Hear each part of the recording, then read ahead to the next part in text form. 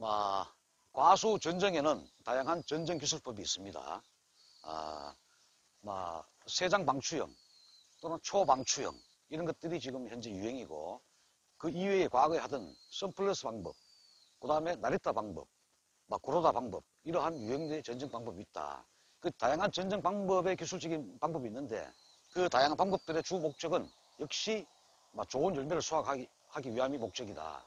어, 좋은 열매의 조건은 첫째 맛이 좋아야 되고 어, 그 다음 두 번째 한 나무 전체에 햇볕양을 골고루 투입시켜서 색깔이 잘 발현되도록 미색 없이 또 우리가 전정만 중요한 것이냐 또 비배 관리도 중요하다. 그리고 무작위로 퇴비 주는 시대는 끝났다. 과거에는 300평당 유박 500포, 뭐 300포, 100포, 30평당 그래서 취비했지만 지금은 아, 개체 관리 그 나무가 퇴비를 필요로 하- 하는 나무냐 또는 퇴비를 필요로 하지 않는 나무냐에 따라 가지고 어, 얼마나 줄 것이냐를 결정하는 이 개체 관리가 중요하다. 그래서 가수원 전체의 물건 품위가 골고루 어, 생산될 수 있도록 하는 것이 비배 관리와 개체 관리 전쟁이다. 또 전쟁의 주요한 목적 중에 하나는 당연히 좋은 열매를 수확하는 것이 목적이고 그 다음에 어, 내한테 정해진 이 용적, 면적을 어떻게 잘 활용하느냐. 최근 막 주간 주간 거리 1m 또는 주간 주간 거리 0.8m, 80cm죠. 그런 나무는 그런 나무에 맞게끔 전정을 하고 지금 이와 같이 아, 열간 4.5m, 주간 거리 2.5m 여기는 여기에 맞게끔 전정을 하는 게 맞다. 이 넓은 이 각각의 제시 거리에 우리가 아, 그런 초방충의 방법을 쓸 그런 방법을 어, 우리가 투입할 필요는 없다. 밀식가오는 또 초밀식가오는 그게 맞게끔 전정하고 또 특히 초밀식가오는 어, 결과지군을 곧바로 결- 주관에서 나온 주지가 없습니다. 주관에서 곧바로 결과지화 시키는 방법. 그래야 초밀식, 초밀식 가수원을 유지할 수가 있고 이런 가수원은 주관과 주지, 주지에서 다시 결과지화 시키는 방법. 이 전체 면적을 활용을 하기 위해서 자, 이 나무를 보시면은 일단은 그 수세 판단을 해야 됩니다. 이 전반적으로 이 나무는 M9 이중 전목묘고 또 하단부를 보시면은 어, 보시다시피 전목 부위가 땅 속에 다 묻혀버렸습니다. 그래서 우리가 처음 심을 때는 이 전목 부위가 최대한 한 20cm 정도는 노출시켜서 이 전목 부위가 땅에 빨려 들어가지 않도록 이 그런 관리를 해야 된다. 그래서 애당초부터 전목 부위 노출을 많이 하는 게 맞다. 토양 속으로 뿌리가 근근히 확대되면서 땅 속으로 침하되는 것을 미리 감안해서 요복을 쉽게 해야 되겠다. 또 더군다나 초밀식 가오는 다하다. 더 중요하다. 그런 말씀드리고. 그래서 이 나무를 보시면은 물론 또 전정은 품종에 따라서 조금 다릅니다. spur type 계통은 전체 개화 총량이 많다 보니까 전정 시에 개화 총량의 수를 줄여주는 그런 전정법이 필요하고 이 후지나 이런 계통은 아, 그런 어, 홍로나 막 자홍, 홍옥 이런 spur type 계보다는 개화 총량 수가 작기 때문에 꽂는 수를 많이 줄일 필요는 없다. 다만 이 개화 총량이 많은 그런 스포 타입은 이렇게 늘어진 가지는 이렇게 걷어주기 전체 꽃을 제거해, 제거할 필요성이 있다. 그래서 개화 총량을 출입을 해서 우리가 나중에 봄에 꽃이 폈을 때 정례, 적화 작업에 일소를 많이 줄여줄 수가 있다. 후지도 마찬가지로 늘어진 가지가 있다면은 걷어주기를 해서 꽃눈을 줄여주는 방법이 필요하다. 또 제일 끝에 이렇게 늘어지게 달리면은 열매가 맛이 없고 당도가 떨어지고 착색도 위에 나무 그늘에 가려서 좋은 물건이 어, 생산되기 어렵다. 그런 말씀드리고 그 다음에 뿌리로부터 제1단 주지에 있는 이 가지가 제일 먼저 토양 속에 있는 니트로겐을 제일 미리 흡수하기 때문에 사과 맛은 사실은 제일 없다. 그리고 뿌리로부터 제일 멀리 있는 최상단부가 착색이 잘 나고 사과 당도는 더 좋다. 이런 말씀을 드립니다. 뿌리 가까이 있는 주지는 제거하는 게 좋다. 가급적이면은. 자, 이 나무를 보시게 되면은 지금 1단 주지, 2단 주지, 3단 주지가 있는데 1단과 2단이 동일한 방향으로 나와 있습니다. 그래서 밑에 있는 가지는 위에 있는 가지 때문에 그들지가 되게 십상이다. 그래서 제거하는 게 좋다. 또 지면보다도 많이 낮고 이 가지가 착성됐을 때 과일 무게 때문에 이렇게 늘어지게 되면은 혹시나 토양에 역병이 있다면은 병원균이 이 빗물에 튕겨서 역병에도 노출되기 쉽다. 이렇기 때문에 일단 주지를 제거하는 게 좋겠습니다. 가급적이면은 막 초밀식형 M9 작은 대목은 이 나지 현상, 그 다음에 자마가 많이 없기 때문에 어, 빈 가지 현상이 올 수가 있기 때문에 가급적이면은 그루터기를 남겨두고 전지하는 방법이 많습니다. 하지만 이런 이중 전목면은 웬만하면 가지가 발생이 잘 되기 때문에 가급적이면 기부해서 매끈하게 잘라주는 게 좋다. 이렇게 제거를 합니다. 그 다음에 우측에 보시면은 어디 부분에 가지가 어, 겹치는가 보셔야 되는데 사실은 여기가 1, 2, 3이 완전 100% 동일한 방향으로 나와 있습니다. 사실은 이 가지가 어, 더 굵고 이게 좋은 꽃이 현재 와 있습니다. 그럼에도 불구하고 어, 이 가지를 제거할 수밖에 없는 이유가 이 가지 이걸 제거해버리면은 이놈과 이놈이 또 겹치고 이걸 제거해버리면은 이놈과 이놈이 또 겹칩니다. 그래서 부득이하게 얘를 희생시킴으로 해서 밑에 가지와 위에 가지의 공간을 확보해서 두 가지를 어, 주지로 살릴 수 있는 방법이 되겠다. 그래서 이걸 또 제거를 해야 됩니다.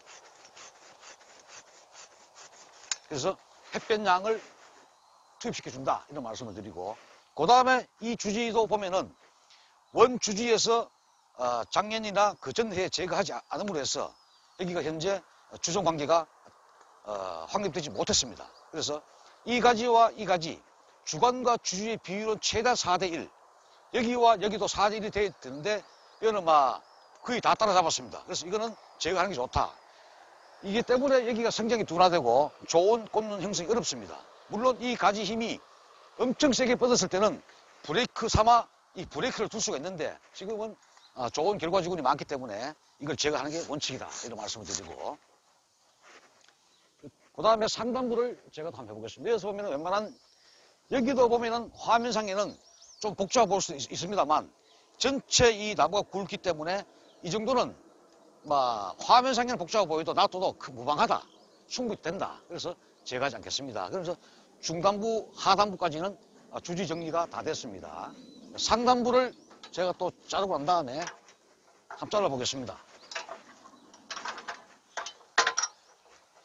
아, 오늘은 또 다행히 어, 사진을 어, 촬영해 주시는 분이 오셔가지고 제가 마음 놓고 할 수가 있습니다.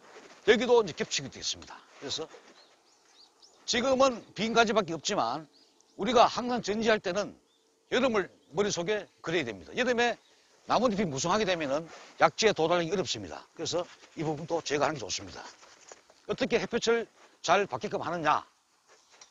이 가지도 보면은 대략 3대 1이 됩니다. 제거하는 게 원칙이지만 이 가지가 이 분지각이 넓기 때문에 수평으로 쭉 뻗었습니다. 굳이 제거할 필요가 없겠습니다. 그 상담으로 갈수록 짧은 가지를 많이 두고 결과지화 시키기 좋다. 이거는 사실은 유인해도 쓸 수가 있습니다. 근데 분지각이 좁기 때문에 우선 제거를 하겠습니다. 음. 상단부는 약한 가지 위주로 남겨두셔야 되겠습니다. 어디 부분을 자르는 걸 보셔야 됩니다.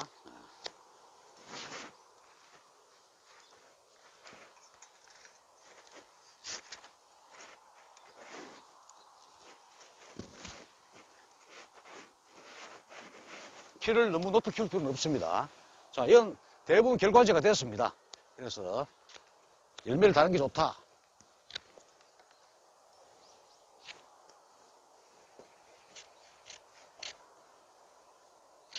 이 그들수 이게 다 열, 열매가 되겠습니다. 되는데 여기가 힘이 세죠. 이런데 연차 변환부가 있습니다. 여기를 카팅해도 되겠습니다. 그건 지금 자르기 힘들죠.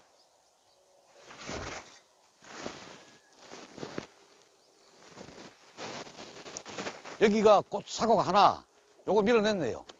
여기 사과 정화 하나, 두 개. 요 꽃인데 좋은 꽃이 아닙니다. 하나, 두 개 달시고 여기가 나이가 바뀌는 부분입니다. 그 중간에 제거를 하겠습니다. 그럼 사과마다 남아 있습니다. 여기도 이거 다 사과네요. 예, 사과. 여기도 잘라버리고 여기는 제거하시고 이렇게 환하게 이거 도장지고 예, 이런 식으로 여기 도장지입니다. 예.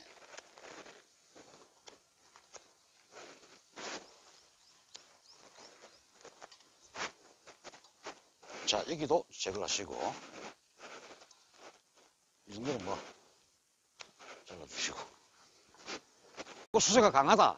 그러면 상당부는 꽃눈, 결과지화 시키고 약한 놈을 두고 주간 연장기를 교체를 하시고 만약에 나무가 힘이 너무 약하다. 그럼 주간 선당부는 그 중에 센 주간 연장기를 두고 정리를 하시면 되겠습니다. 이거 다 꽃눈입니다, 여기도. 예.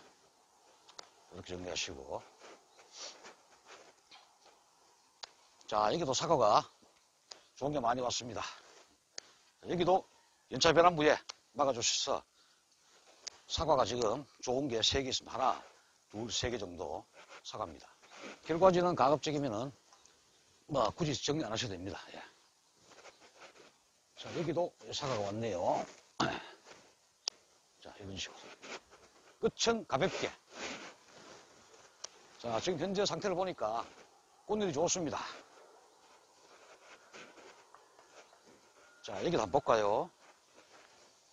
여기 이제 우리가 전정 목적이 보시면은 예, 갈색 날개 매미충이 현재 여기 산란을 했습니다.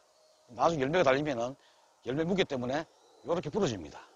그래서 이런 것들은 아, 제거를 하는 게 좋습니다. 여기도 보면은 자, 두 개 나왔죠? 이렇게 하나, 두 개 놔두시고 자, 이것도 좋은 결과지 꽃잎입니다. 또 여기 뺀질이 사과를 많이 말씀하시는데 거기 보이면 또 말씀드리겠습니다. 이 상태 마시고 자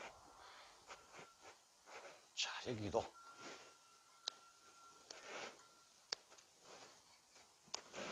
좋습니다. 꽃이 상당히 좋네. 잘라보고 끝은 가볍게 하신다. 여기도 보면은 막 작년에 막으셨네요. 막으셨는데 이 열매 달면은 열매 무기 때문에 늘어집니다. 예. 그 좋은 꽃을 두고 사과 다셔도 관계 없습니다. 예. 이건 제가 하고 예. 됐습니다. 이렇게.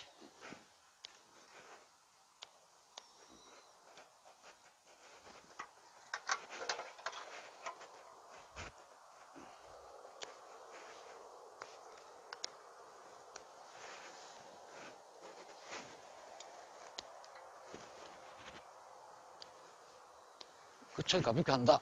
이렇게.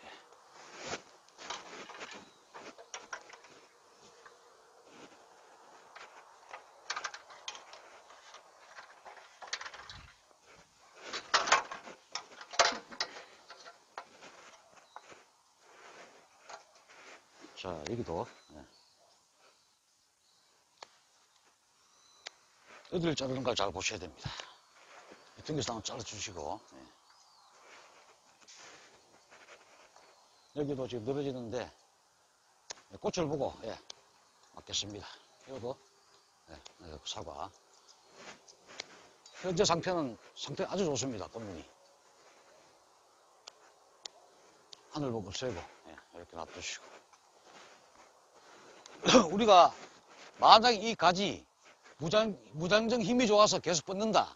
그러면 중간에 이런 것들을 세워, 세워두고 해서 뿌리에서 올라온 양분이 이렇게 이동하면서 등 위에 있는 직립지가 양분을 소모해버립니다. 그래서 여기가 안정화가 됩니다. 만약에 제거해버리면 세게 뻗어버리죠. 고속도로의 탱크로리 같은 역할을 할 수가 있다. 물길을 막아준다. 얘가 물길을 막아주고 해서 끝은 안정이 된다. 예. 이제 우리 볼대를 쏴준다 그런 얘기를 하는데 지금 여기는 그럴 필요는 없습니다. 자, 이것도 꽃눈이죠. 예. 다른 거 관계없습니다. 햇빛이 충분히 나기 때문에. 이런 식으로. 다 다른 거 됩니다. 됐고.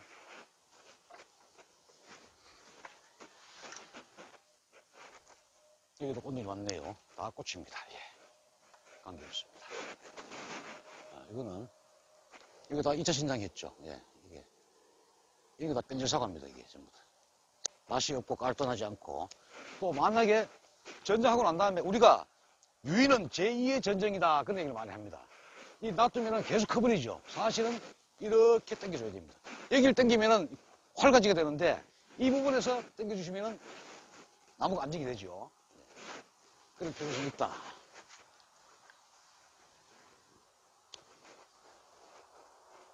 그래서 이 정도는 뭐, 네.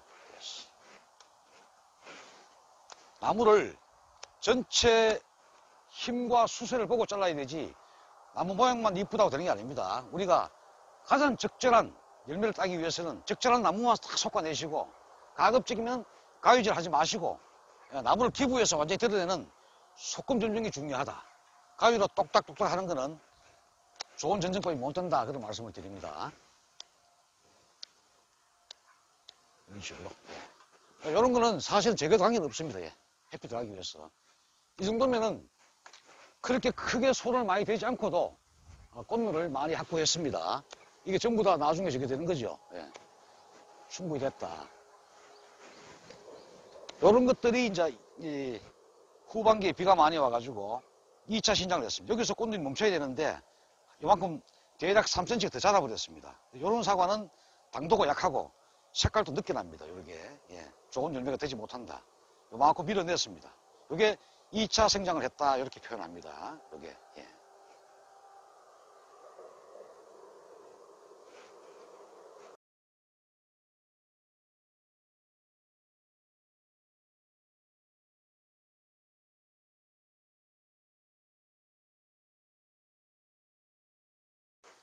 전쟁을 뭐 깔끔하게 한다고 좋은 건 아니다. 예. 그래서 이 상태를 전체적으로 보시면은 상당히 꽃눈도 충분하고 나무가 상당히 안정화됐다는 느낌 들어요. 전쟁하고 이래 보니까. 상단부, 중단부, 하단부, 상단부는 짧은 결과지구로 배치됐고 중단부는 조금 더 짧고 하단부는 조금 더 길고 전체적인 모형은 삼각 형태로 전쟁을 하고자 했습니다. 삼각 형태가 가장 이상적인 햇볕을 어, 받을 수 있는 형태다. 이렇게 보여집니다. 이상으로 간단한 전쟁 강의를 마치고 아, 다음 회에 또 뵙도록 하겠습니다. 고맙습니다.